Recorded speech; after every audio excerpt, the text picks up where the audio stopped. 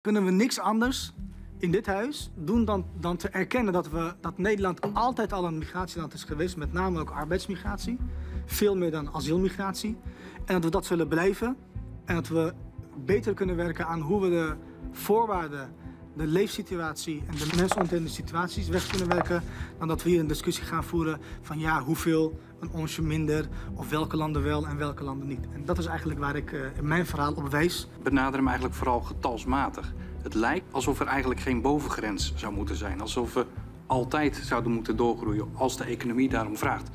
Concrete vragen nu, is er ook voor u een bovengrens als het gaat om nou ja, misschien wel aantal inwoners of uh, aantal arbeidsmigranten. Bestaat die voor u? Uh, veel partijen in het huis willen dat, dat de AOW-leeftijd omlaag gaat. Maar als je dus minder arbeidsmigratie gaat accepteren, dan, dan, ja, dan kan je niks anders dan concluderen dat we richting de 70 gaan binnen, wat is het, binnen 15 jaar. Uh, we willen dat allemaal vlees, groente en fruit betaalbaar blijft. Dat hoor ik heel veel partijen in het huis roepen. Ja, als je arbeidsmigratie gaat inperken, dan gaat vlees, groente en fruit, die wordt duurder. We klagen allemaal over een peperdure kassabon. Minder arbeidsmigratie betekent dat die kassabon nog duurder gaat worden. En daar wil ik in dit huis op wijzen. We hebben die luxe niet.